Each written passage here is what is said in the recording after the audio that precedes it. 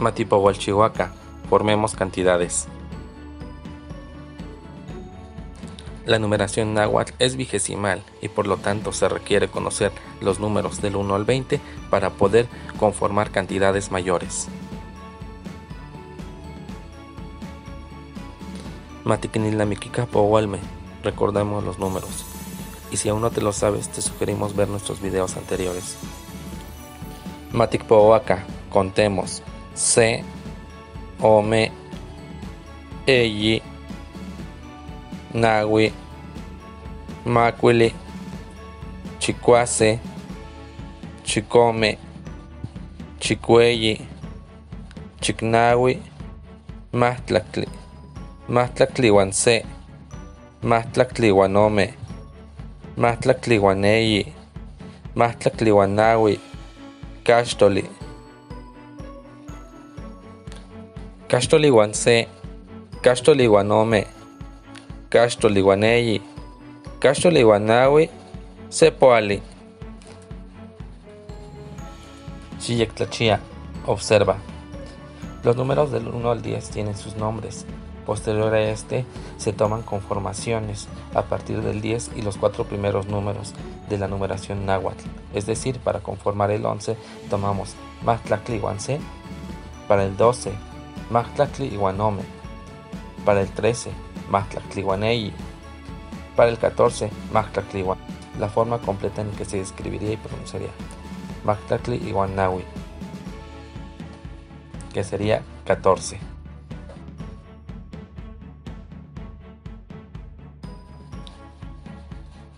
¿Qué pasa con el 15? El 15 tiene su propio nombre y a partir de ese se siguen conformando otras cantidades. Por ejemplo, para conformar 16 se suma el 15 más el 1 que sería C 16. Para el 17 Castroliguanome. Para el 18 Castroliguan Eyi. Para el 19 Castroliguanawi. Quedando así de forma completa.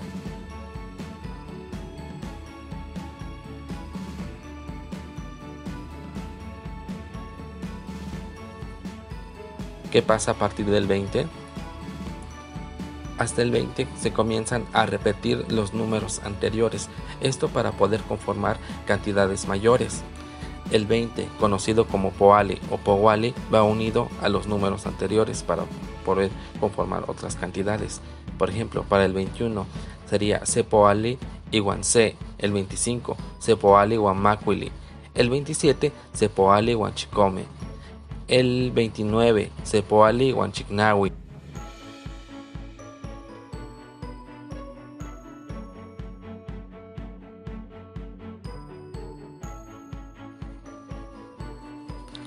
Sepoali Huamactacli 30.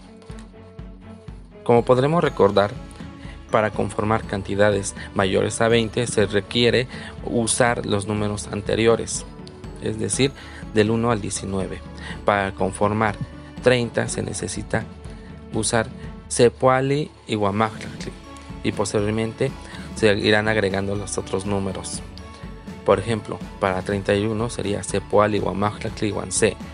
Para formar 35 recordemos que el 15 tiene su nombre propio y para conformar 35 necesitamos 20 y 15, así que sería Sepoali y Huancastoli y así sucesivamente con los demás números como se presenta en el ejemplo. ¿Cuántas cuentas?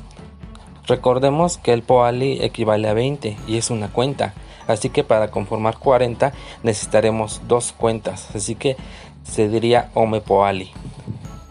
Y de aquí se vuelven a repetir los números. Para decir 41 diríamos ome poali y c. Para decir 45 ome poali y macuili para el 47 Omepoali Huanchicome, para el 49 Omepoale Huanchicnahui, y así sucesivamente.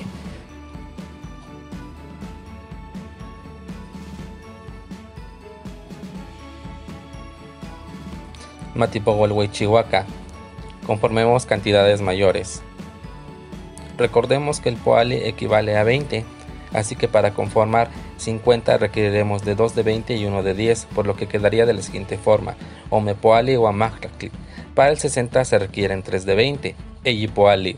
Para el 70 3 de 20 y 1 de 10. Eyipoali o Para el 80, 4 de 20. Quedaría Nahuipoali. Escribe en los comentarios cómo quedaría el nombre del 90 y el 100 en náhuatl.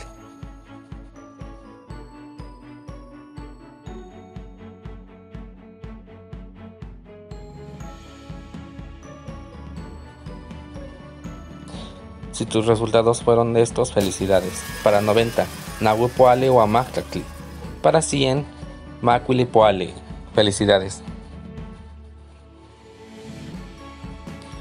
Okachimatipo Huelhuichihuaca. Formemos cantidades más grandes. 110. Macuilipoale y Guamatlacli. O lo que sería 5 de 20 y 10. 200. Mactlaclipoali 10 de 20. Para 300, Cachtolipoali, lo que serían 15 de 20. 380, Cachtoli Iguan Nahuipoali, lo que serían 19 de 20. Y 383, Cachtoli Iguan Nahuipoali Iguan Eji. como digo 400 hasta el 399 se sigue empleando el poali mediante cuentas. Así que 399 se dice Castoli Nawi Poali y Juan Castoli Nawi y al llegar al 400 surge el nuevo nombre de Tontli pero ahora va a tener 400 es Setzontli y al tener 800 que son 2400 serían Ometzontli y retomando el año en el que estamos que es 2020 sería Macuilitzontli y Guancepoali 5 de 400 y 1 de 20 se vuelve a integrar una nueva cantidad. Bien, recordemos que iniciamos con la numeración del 1 al 20, en donde interviene el poali con múltiplos de 20. Posteriormente, al ir avanzando, llegamos al sontli, que son los múltiplos del 400. Y así vamos conformando las cantidades de 1000, como está mostrando en los ejemplos. Al llegar al 8000, surge el nombre de una nueva cantidad, de una nueva cantidad que es el el chiquipili. Y aquí vamos empleando múltiplos de 8000. Para 8000 sería se chiquipili. Para 16000 sería ome chiquipili.